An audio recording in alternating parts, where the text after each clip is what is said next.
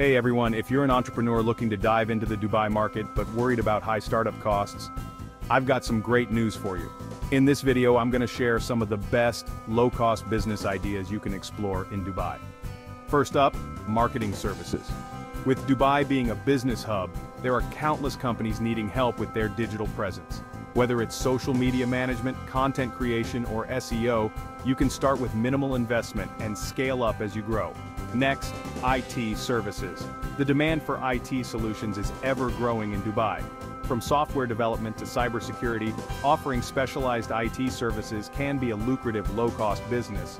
Plus, you can start small and expand your services over time.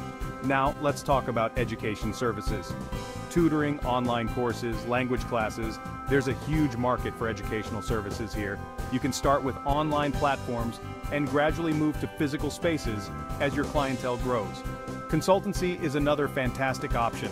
If you have expertise in a particular field, offering consultancy services can be highly profitable.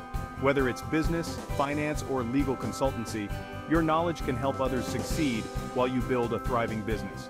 If you're looking for a more traditional route, consider opening a small grocery store. With the right location and a unique selection of products, you can create a niche market that attracts a steady stream of customers. Lastly, a saloon can be a great low-cost business. Personal grooming is always in demand, and with the right skills and marketing, you can build a loyal customer base quickly. So there you have it, some of the best low-cost business ideas in Dubai.